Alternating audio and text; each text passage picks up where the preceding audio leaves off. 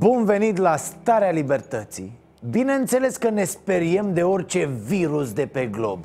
Bineînțeles că noi românii ne panicăm imediat când auzim că e ceva acolo care poate să ne ucidă. Că degeaba te refugiezi în spitale. La noi te găsește virusul în spital și acolo ți-o trage. Stă virusul în spital ca la hotel.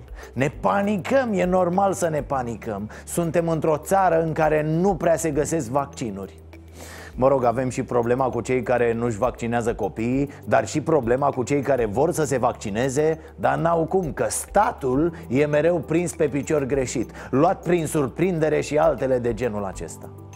L-am auzit vorbind pe domnul doctor Străinu Cercel despre cum stă treaba cu gripa în general. Străinu Cercel este directorul Institutului de Boli Infecțioase. L-am văzut adresându-se nației panicate și mi s-a părut cam stupid în atitudine Stați dracu în casă, nu mai veniți toată ziua pe la spitale să faceți teste de gripă. Îi îmbolnăviți și pe alții și nu rezolvați nimic. Luați antivirale și stați acasă. Uh, să vă dau exact cuvintele omului. Au fost acestea. Te doare capul, faci febră 39-40 de grade Te dor mușchii, ai o stare ca și când ai fi bătut E gripă, n-ai nevoie de niciun test. Ai nevoie să stai naibii în casă, să te izolezi, să suni medicul de familie care îți va spune Ai gripă clinică.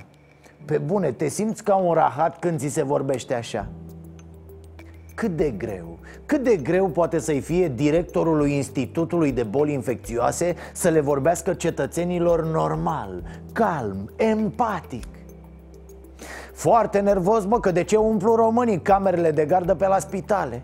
Mi se pare, sincer, relativ ciudată și abordarea asta cu autodiagnosticarea. Bă, când simți așa și așa, stai frate în casă, boule mai mult, străinul Cercel spune și ce să ia oamenii. Da, așa la TV diagnostichează milioane de oameni și le spune ce să ia. Vă zic și vouă că poate nu știți ce să luați. Nu de alta, dar vă prinde nenea Cercel la spital și vă rupe picioarele Ca să aveți un motiv adevărat să fiți acolo, nu?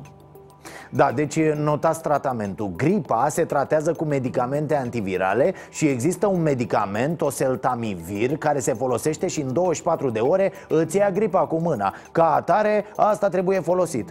Am văzut acum că o serie de medici nu prescriu oseltamivir Că nu vor să prescrie Că le-a spus cineva că n-au voie să scrie. Domne, hai să ne băgăm toți mințile în cap.